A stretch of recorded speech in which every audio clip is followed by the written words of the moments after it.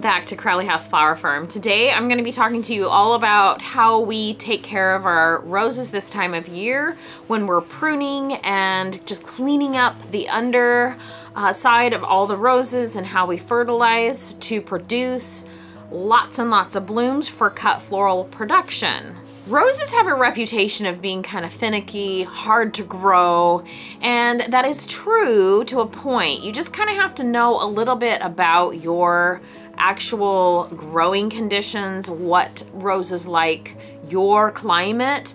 There's ones that prefer a little bit cooler, and there's ones that can tolerate a lot of heat a lot of the new varieties, um, the more modern varieties that they've bred, have less disease issues. And so those can be a little bit easier to grow and less problems. And so if you are just starting out, kind of read through some labels and figure out what rose grows best for you. One, in your climate. Two, uh, what is the most disease resistant. This year, actually, we've got several varieties that have not done super great for us. One of them is a very loved Koko Loko. And I think I figured out the reason for it, and that is because we have had a couple really, really hot summers, and especially some hot days during those summers.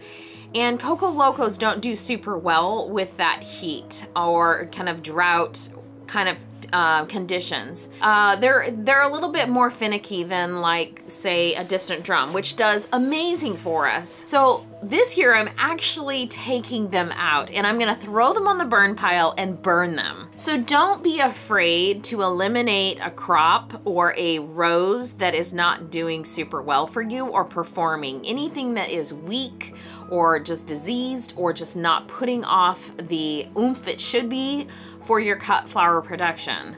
So that's what I'm doing. I am pulling them out. I am destroying them. There was just a few plants that actually made it and I'm keeping those. But unless I go and buy more and just plant them and plant them every couple years, it's just gonna be um, nixed from what we're doing.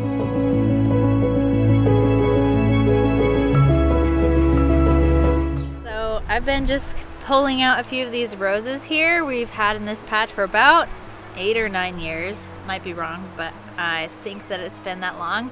Um, so I feel like after a time, they just kind of aren't as good. A lot of them are just growing up the suckers, so um, they're not producing any flowers, just these long whips with just leaves. And they're really annoying to try to walk through the rows with because they tangle all in other roses. So um, the master plan is to actually take this patch out anyways. Um, but for this year, we're taking out the bad ones and then um, keeping some of the good ones in here, pruning them, see how they do. This year, we are gonna take out the good ones as well. So this whole patch is gonna be turned into lawn and um, yeah, it'll be exciting. I'm excited for this patch to be opened up. But they're just gonna go to the back and uh, we'll get our roses from there from now on.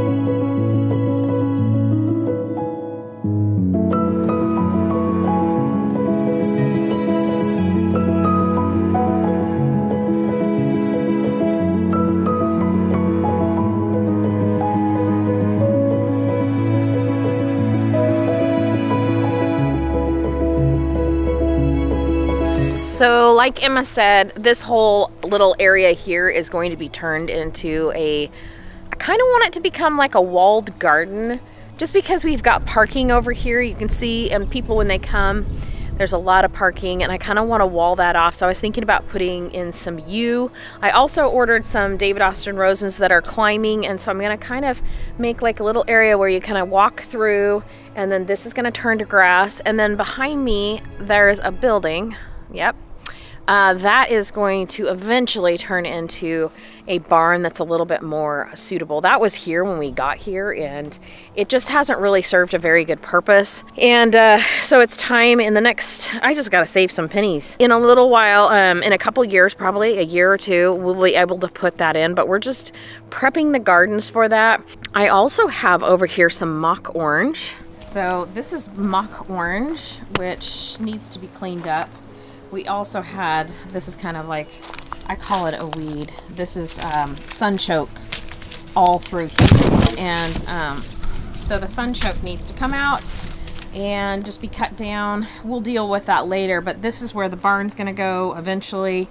It'll have an awning on it that overlooks this whole area here. And then these are the roses that we're kind of taking out any of the ones that are really bad and moving the good ones to the back. And then you can kind of tell there's a little bit of a hedge of a rose. They, they were there when we moved here.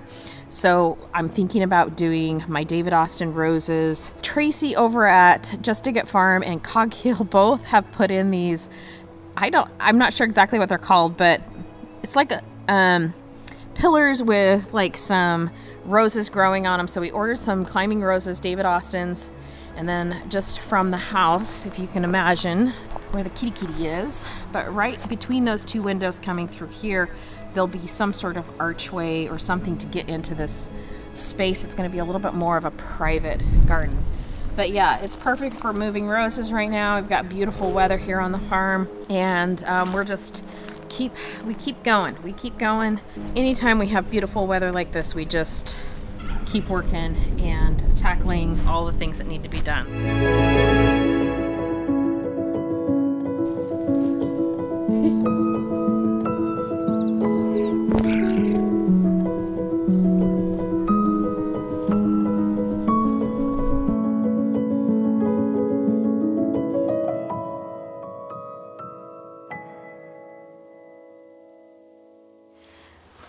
For the new walled rose garden, I'm going to call it for now, um, what I got so far is the Sally Holmes climbing rose. Now that rose is a beautiful kind of a white blushy colored. It's a repeat bloomer and it grows to a height of 10 feet. So I want that really big, voluptuous, beautiful bloom. I've coupled that with Crown Princess Margaret because I love that. I have that in my other garden, but I have more of a bush type variety. And this is the climbing rose. So this is gonna grow quite tall and that's going to be popped in with those. I also got a um, carding mill, which is, um, we got three carding mills. I, we get that request a lot for that rose. And so I got some of those and I got one other, I can't remember what it is. I will try and remember and put it here um, for you. But so all of them, I've got some bush roses and then I've got the climbers that are gonna go up and I just wanna spot that color around because a lot of the colors I got were kind of like a, a kind of corally orange color and then we popped it in with that Sally Holmes which is gonna be beautiful and big and voluptuous. So I got three of the Sally Holmes and then I've got three, uh, no, two of the Crown Princess Margaret, the ones that kind of trellis up. So so I got five roses all together, I think. Um, I might add more to it. I haven't completely designed that garden, but I think it's going to be really pretty. And it'll be fun to have you guys tag along and just kind of see what we're doing and um, see if I completely fail or if it turns out really well. I am excited for this year's rose garden. And um, just because we're putting a lot of time and energy into the rose garden, I haven't done that as much over the last two years but I feel like now the girls are really on board, both Emma and Riley, to um, make the roses what they are going to be and um, just beautiful. And, you know, they are a lot of work. That's it. That's it. That's all there is to it. It is a lot of work, but worth it, I think. Well, let me know in the comments below what you think or what roses you have growing or what you're most excited for this year with your roses. Uh, maybe some of the things that um, kind of troubleshooting some of these things that I'm kind of going through. I, I felt like it's definitely because of the heat that we had. I think it was a 117 degrees Fahrenheit. Um, I was a little bit above that, I believe, um, two summers ago. And then last summer we got really hot again, long stretches with no rain. And just, yeah, it's just hard on some varieties when they get that hot. And we're just not in a climate that tends to do that. When we just have mild summers, mild winters, and when we have those huge fluxes. And then actually this year we got really, really cold for uh, a spell. I think we got down to 17 degrees, which is really cold for us. We just don't do that. Um, so things you definitely saw things in the gardens kind of say, hello, we don't like this. And so um, it's just dealing with it. And I think that's fun as a gardener, just having to kind of figure out things as you go. And um, anyways, well, I am off to go prune some more roses. We're almost done. I have a few more rows to go. I think this is day five now for us.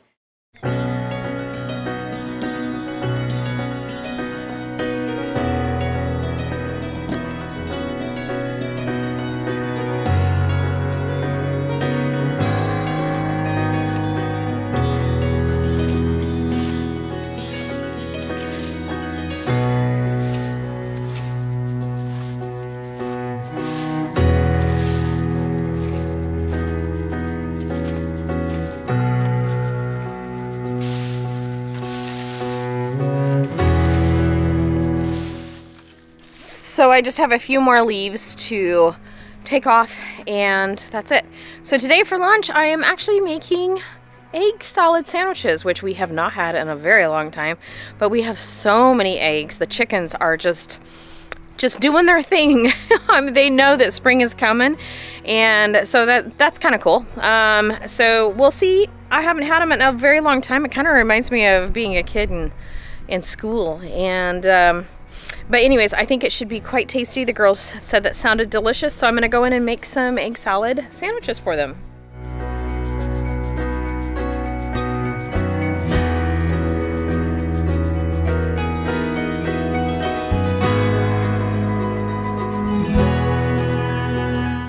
So besides these David Austins, we do have some climbing roses and we also have some bush roses. I'm gonna take you through us trimming all of those uh, just to kind of show you what we do here on the farm.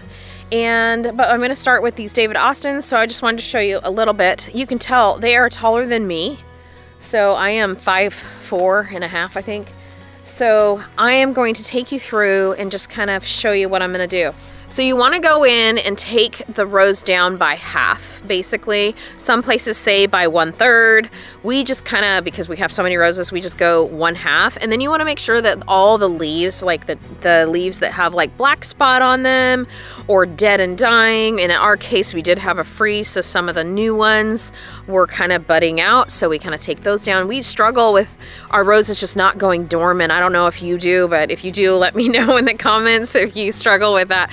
They don't actually go completely dormant and lose all their leaves. So after you do that, then you want to make sure and cut off any weak or stems that just aren't going to produce rose roses very well. So in our case, we want a really nice strong stem for the rose to um, up on and so that we can use it in arrangements and that kind of thing. So uh, I tend to pull anything off. This is a this is a marker that we use for, or the pencil that we use for um, dahlias, but this is a pencil. So you want to take anything that's uh, smaller than a pencil off, anything that looks really weak, anything that's crossing, anything that's dark in color.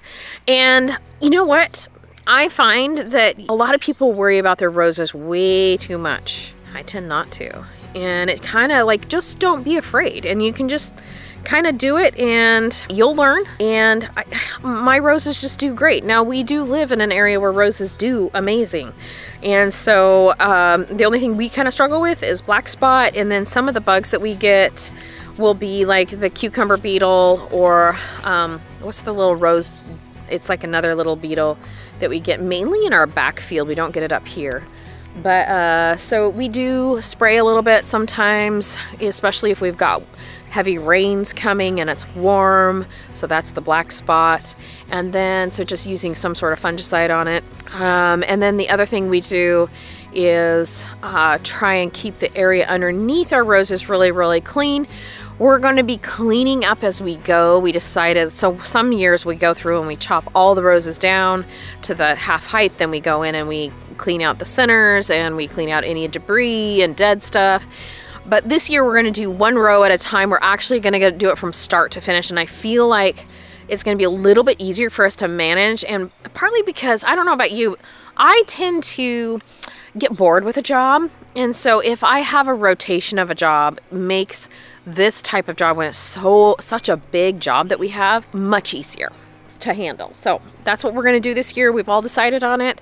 Emma is way over there. I don't know if you can see her, but she's way over there um, starting to prune um, the roses on that side. So I'm tackling the David Austins first. I'm glad you're here with me.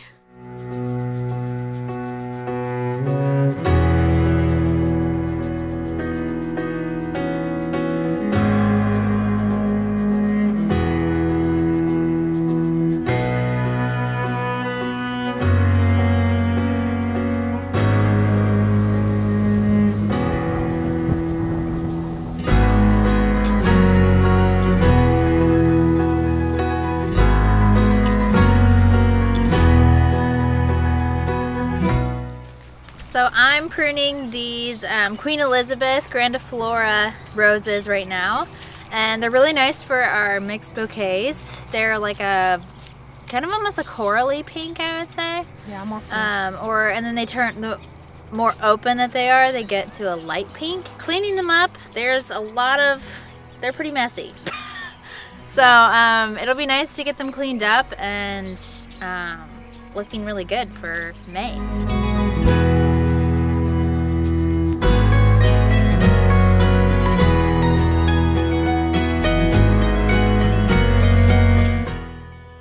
So the grandiflora roses are about the same way that you cut them like the David Austins.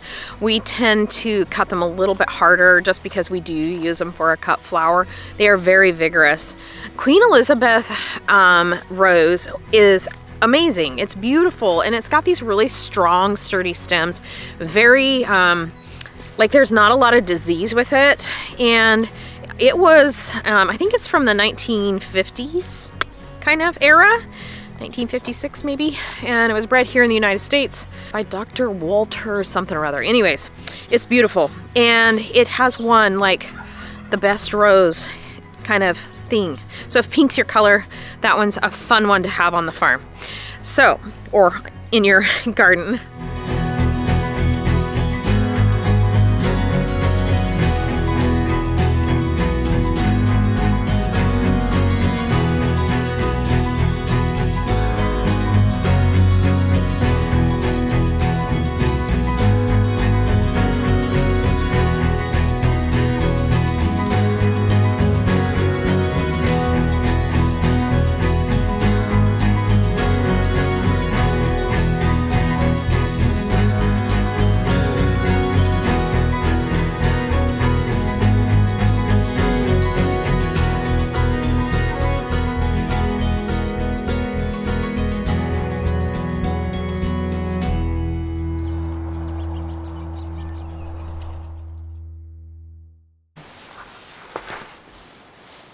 So in pruning, I follow a few basic steps to do that. And one is I first start with just cutting down the height, just getting it to a manageable height for me to work and see, kind of.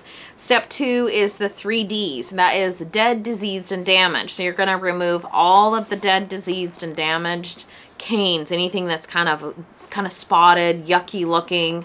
Um, and don't be afraid to just get in there. Sometimes I have to use the big loppers to get in there and do that. Um, but a lot of times really sharp, good clippers will work really well. And um, then the next step would be to remove any of those really fine pencily, less than a pencil size, really weak stems. And then anything that's crossing that would be um, like rubbing against each other in high winds um, and just kind of clearing out the center to create that like more of a vase shape. And then lastly, I defoliate everything. So I take off any of the leaves that are left on and um, we start the fertilizing process with, I do a cup of the um, alfalfa pellet down and then just kind of work it into the soil a little bit and then I'm going to put a little bit of fertilizer. Today I am just using something I got at the hardware store and that's good for roses. Um, I think there's lots and lots of different things like I said that you can use so just kind of use what you have on hand um, that will work well. I find that roses are just really not as picky as most people say. But again, I've selected everything other than the Koko Lokos um, that have done really well here for us. So, so if you're doing all these steps to kind of, all these steps in pruning and then keeping up on the care of the roses as far as fertilizing and then um, you know, we'll do another fertilizer after the roses flush. Um, we kind of do another like cleaning up, kind of mid-season pruning, kind of taking off anything that looks kind of weird, shaping the plant, um, and then we just kind of start over. We kind of look at the base, go from the base up, make sure that everything looks good, and then um, really keeping control of all the weeds. So that's what we're doing now is just kind of going through, getting rid of all the weeds, any of the debris, you know, it's just basic. So, and that's how we are able to produce so many blooms come the June. Usually it starts around June for us. And it's just beautiful, amazing. You, you guys, the smell here on the farm is so, so beautiful. Smells like roses. Um, we only have about a little under a thousand roses here on the farm. Well, other than the new David Austins that are coming, they are supposed to come today or tomorrow. I don't know. I was hoping to get it on this video. Maybe, maybe at the end of the video, I'll pop it in. Um, we'll see if they actually make it and I'll talk about the varieties I got. I don't have my phone. I, I know the varieties I got. So maybe I'll do that.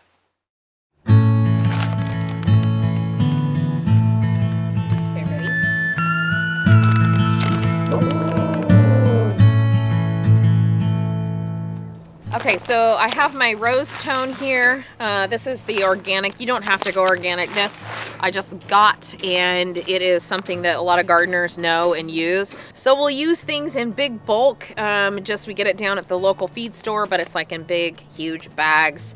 And we fill up big containers, and then we just kind of dip into that. So but for today, this is what I'm using because everybody usually knows what this is and you can kind of, you know, understand that. So I've got, what I'm gonna do first is go ahead and put down, so I just have some alfalfa pellets. I'm just throwing a couple handfuls down on each one.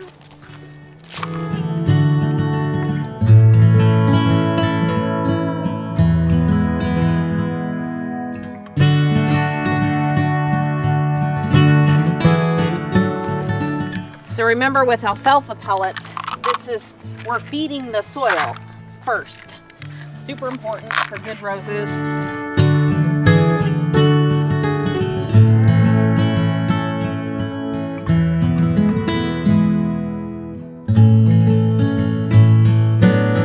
So it's important to read the back of the bag when you're planting, especially if you're planting bare root roses to kind of understand how much to add. So it's easy to get excited and put your want to put your roses right into the ground.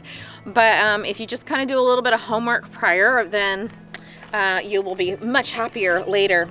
So in reading this, though, they have um, instructions for planting a rose. So like a bare root rose without the soil and then with the soil versus an established rose. So with a bare root rose, you're going to add quite a bit more or quite a bit more of the fertilizer to the soil than with an established rose.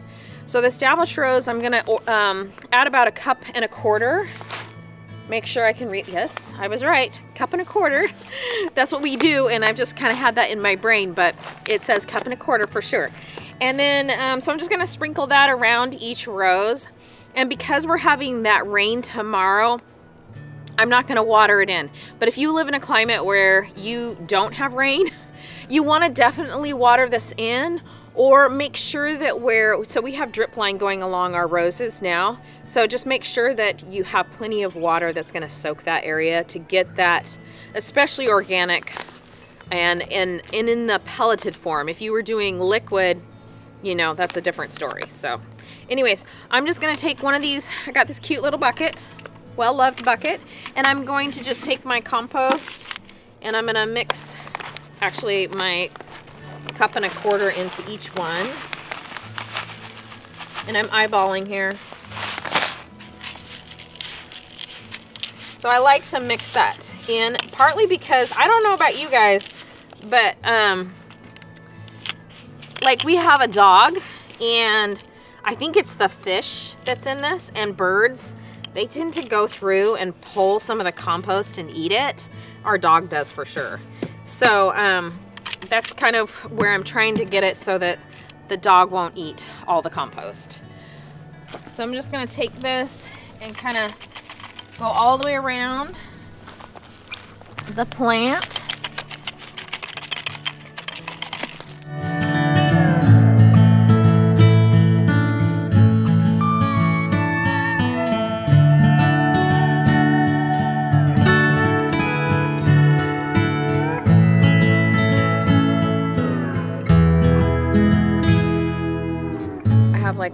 Another 999 to go.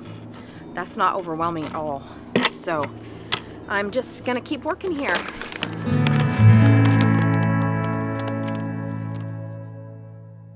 We've had a lot of rain. It's been just really, really yucky. Tomorrow we're supposed to get a half an inch of rain and then Monday we're supposed to get another inch of rain and we've had loads of rain already. So it's the season for us to kind of have these rainy spells. It's just really getting to everybody because it's just been not only rainy, but the weather has just been really kind of not I guess it's been in the mid 50s, but it's there's a wind and that's cold. So that the wind chill factor is just a little bit low. I think if you follow some of these great tips on just simple ways to get more blooms on your roses, you will see huge success this summer. It's really hard um, to cut your roses back so hard and then you think, oh dear Lord, we're just not gonna have any blooms. But it actually really, really helps and then you get nice, long, hardy stems that you can use as a cut flower.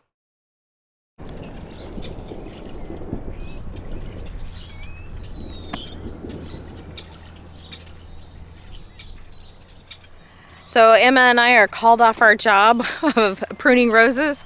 We're just gonna head in for a little bit. We're gonna actually put together an order of tulips um, because we have a little storm rolling through. It's almost 70 degrees today. Yeah. Really warm. Really warm. Um, and we just have a change in the system and so we've got a little bit of a thunderstorm coming and we thought, well, we have some indoor jobs. We could get out, duck out of the weather before the big rain comes. I like these days. Thunderstorms are my favorite. I know, so nice. Weird in spring though, I feel like. And I feel it was just winter. Usually yesterday like, or uh, two days ago, just winter. Something like a summer storm. Yeah, it does feel like a summer storm. I'm hot. Probably because we're used to cold. Yeah. We're not acclimating. Well, you are because of Australia. I know, but I'm telling you, this is warm. it is warm.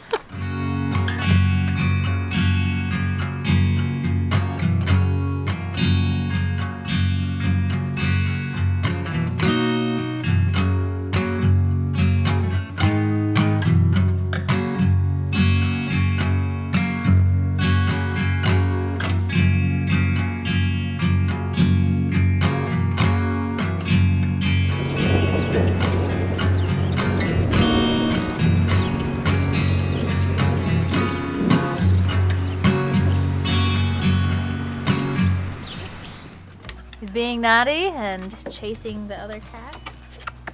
You can't help it. I know. It's too tempting. So in the last hour, we've heard thunder keep getting closer and closer, and now it's right on top of us. So the girls literally just came in about 10 minutes ago, and then I got notice of a lightning strike less than a third of a mile away. So um, it's a good thing they came in. We're not seeing any lightning, but it's a lot of thunder. So, but our and our radar app is showing the lightning strikes right here.